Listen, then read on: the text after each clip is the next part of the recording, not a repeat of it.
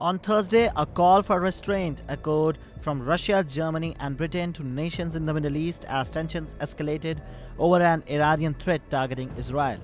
Israel, in response, has asserted its readiness to address all its security concerns. Lufthansa, meanwhile, one of the most limited Western airlines serving Tehran, also prolonged the suspension of its flights to the Iranian capital, Tehran, citing safety concerns. Additionally, Russia has cautioned against travel to Middle East amid escalating situation. The backdrop of this tension is the war of retaliation from Iran following the April 1 airstrike on its embassy compound in Damascus which resulted in the death of a senior Iranian general and six other military officers. This incident has further strained an already tense region compounded by the ongoing Gaza conflict. While Israel has not claimed the responsibility of the airstrike, Iranian Supreme Leader Ayatollah Ali Khamenei has asserted that Israel must face the consequences of the attack, likening it to an assault on Iranian soil.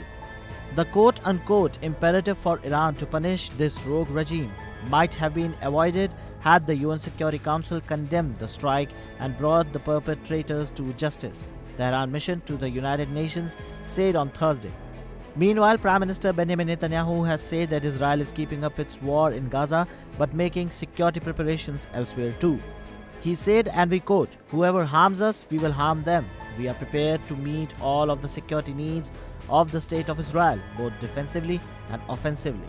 He said in comments released after a visit to an Air Force base. Iran has reportedly communicated to Washington its intention to respond to Israel attack in a manner aimed at preventing significant escalation according to Iranian sources. Israel's Defense Minister Yoav Gallant has retaliated US Secretary of Defense Lloyd Austin that Israel stands ready to retaliate directly to any aggression from Iran as stated by Gallant's office.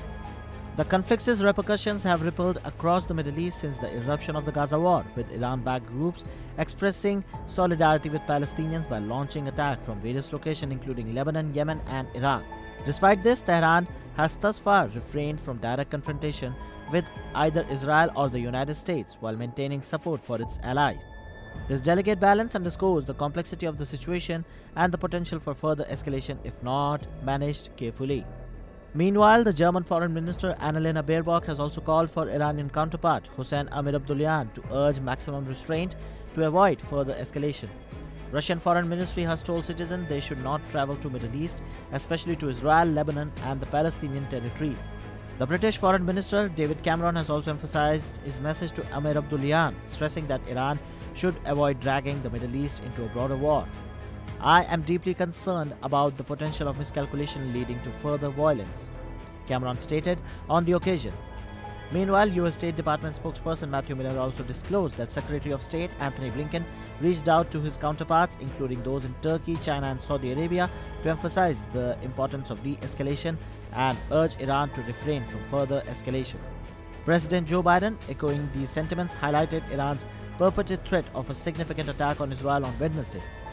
He assured Israeli PM Benjamin Netanyahu of the United States' unwavering commitment to Israel's security against threat from Iran and its proxies.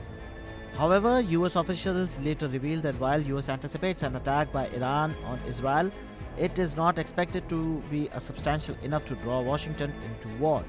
These diplomatic statements highlight the delicate diplomatic effort to mitigate tensions and prevent further escalation in the region. Subscribe to Oneindia channel and never miss an update.